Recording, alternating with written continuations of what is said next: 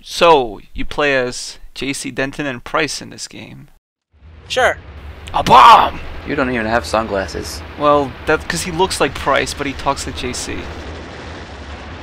John, come in. Go ahead, Hawk. I found the hangar. A lot of activity here. Afraid they're gonna fly Queen Bee out soon. Oh, tight. Out. Now he's got his gun in his other hand. Why can't the queen bee fly out on its own? Because it's not an actual Queen Bee. I don't believe you. Time for the world to look puke green. See, now he's got goggles, so his vision's augmented. Yeah, I don't like using them very much.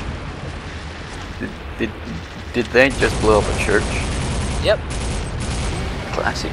Remember, this game was controversial. We're terrorists. We don't blow up churches. Our own churches.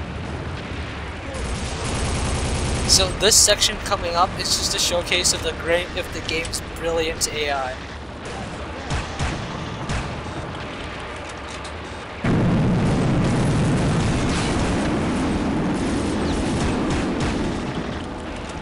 You mean the, the lack of AI? How much sniper rifle ammo do you have? A lot because it shares ammo with the submachine gun. What? Ah, so that's why. You had So like how come- 300 rounds of sniper ammo. Yeah, how come... Don't, don't, do they do different weapon damage, though? Yeah, the submachine gun doesn't do as much damage, but it's very effective when you keep firing. It's a slow grenade. I think it's retarded how he reloads that gun. It looks so awkward. I think it's retarded how they throw grenades. That's the case for every gun. Talks. I'm gonna reload my Desert Eagle by putting it in my other hand! I mean, even in Rogue Warrior, the, the reload animations were dumb and slow, but they looked badass. Throw this magazine the fuck away. It takes forever to do it. I guess Rogue Warrior is kind of like the spiritual successor to this game, maybe. I didn't think Rogue Warrior was as fun. Just run around, kill move everyone. Well, the bit, you know, the best and probably only good part about Rogue Warrior is make it work.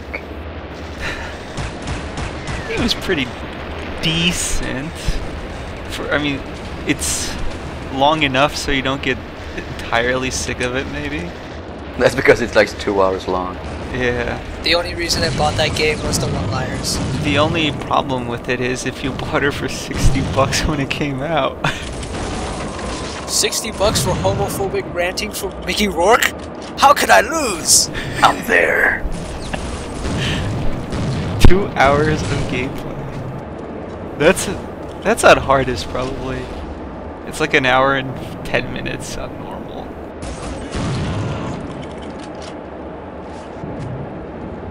So you're gonna get ambushed at this part, but it's really easy because the AI can't aim for shit. Look at those boxes. Getting blown up.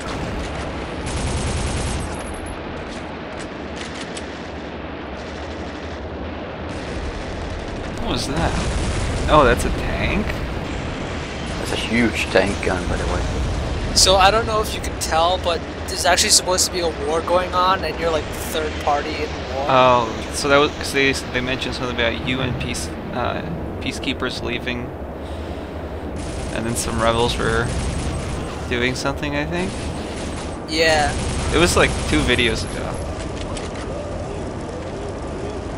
Yeah, I'm gonna be posting the briefing in the thread. And that would require me to read the thread. Did you even read the Stranglehold one at all? Yeah, I did. Well, I'd rather not like have the video paused for like a minute. Well, while, yeah, that you makes know, sense. So you can read the briefing.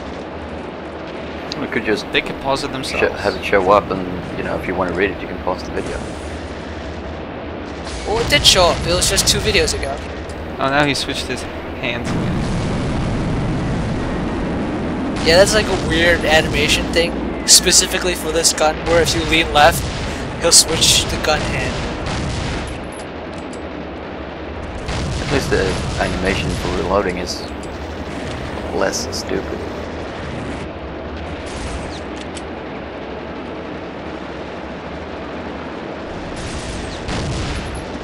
So we're going after a gun first, right?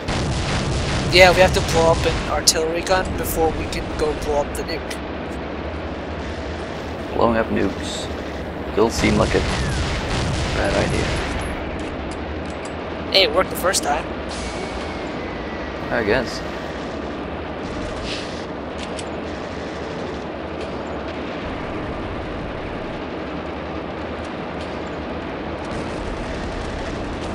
That is still one of the most awkward jumping puzzles in the game.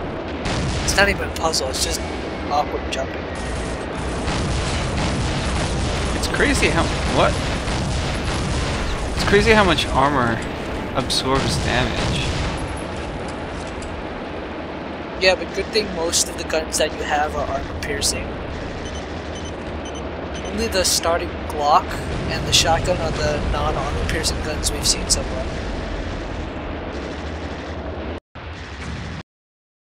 You didn't save at all? No, That's the gimmick. No save run. You're a loose cannon, Merc. there's been no need to save yet. The hangar's heavily fortified. I have a diversion ready for when you get inside. Looks like I'll need it. Well, you've been taking basically no damage so far. Sniper R. I prefer Sniper S. Oh. I prefer Sniper Z. For Zul'jin Raynor, No, for snipers with a Z. Because Z's make everything look cooler. It's why it's in my name. Yeah. oh, his head didn't explode. Bonk. Come on, that's not fair. In that cutscene. that cutscene lied to yeah, us. that guy's head was just like blonk.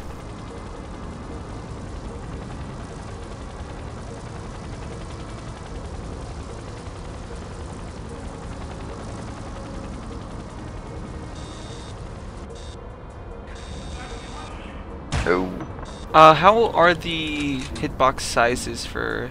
They use hitbox in Quake 2, right? Yeah, but this game has like specific, specifically new hitbox technology. Like on the back of the box and in the advertising, it's like there's 26 hit hit zones Okay. for different parts of the body. And are they like pretty big, or?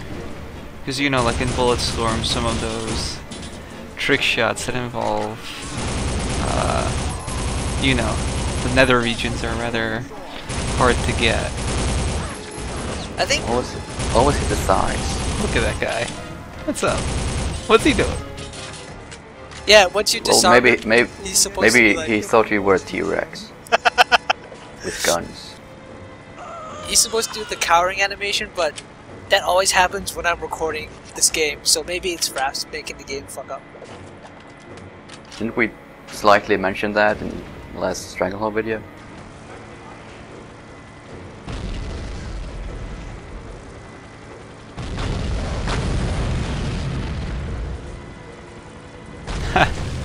That was Kablam. Kablamo.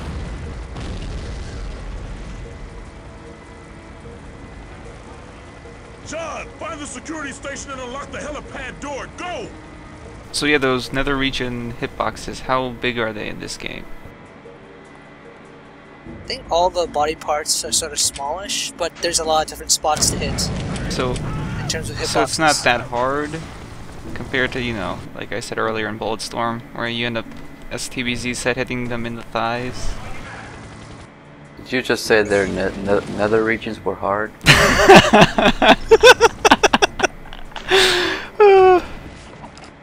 A different kind of LP. Whoops. Hey, we're trying to keep it classy here. Violence only. And swearing. Hmm. Say no to sex.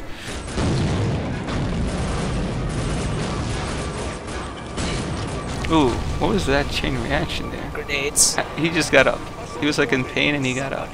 A brief, brief mention about the uh, different body parts. I remember remember a preview in like PC Gamer about the sequel, and they had like instead of 20 different sounds, they had like 200. Oh.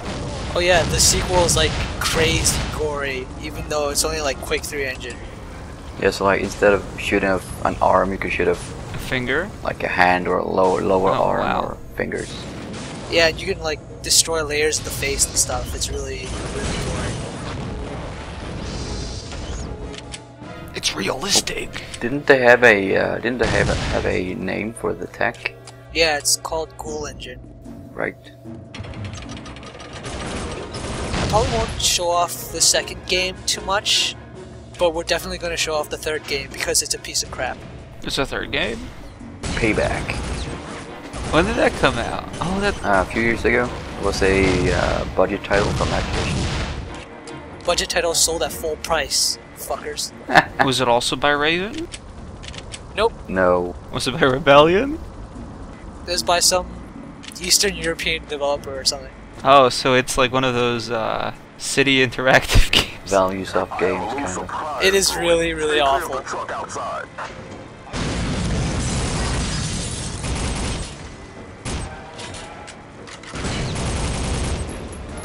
So here I'm trying to throw a grenade into the sniper nests, but that's not working. but I killed that guy, so that works for me. It, that's what counts.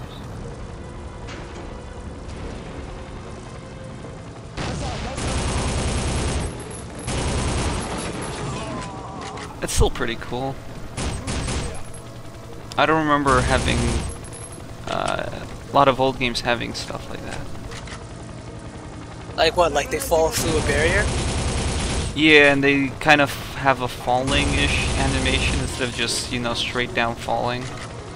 I know uh, No One Lives Forever was one of the first games that used that kind of animation too, like uh, a more cinematic thing. Like if if you shoot them close stairs, they will do a tumble down the stairs. Huh. Oh, that's really 'Cause uh, neat. Yeah, because like in Return to Castle Wolfenstein, if you shoot someone by stairs, they just slide down them. it Yeah. looks really weird.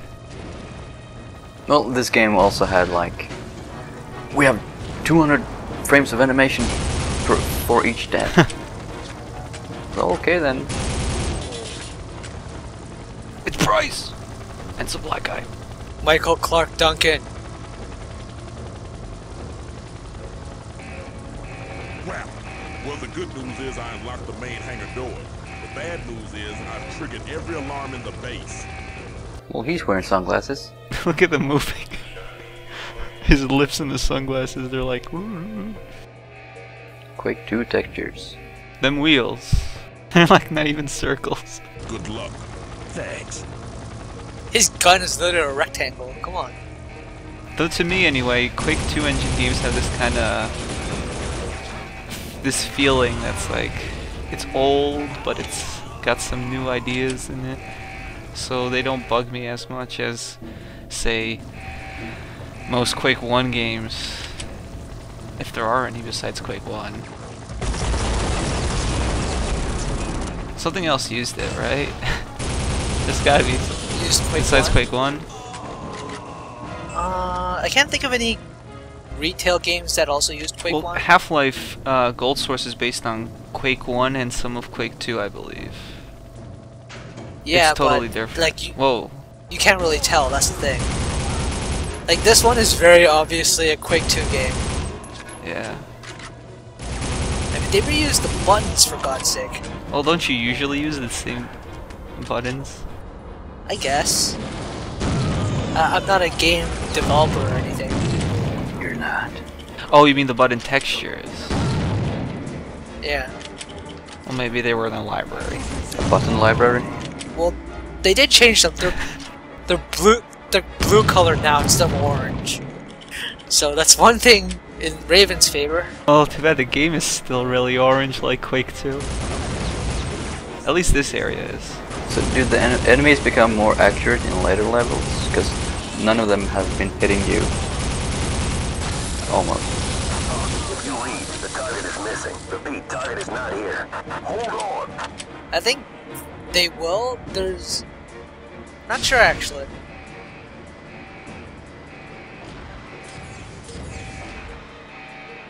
How long were you down there? Long enough. That C4 was in the air, hovering.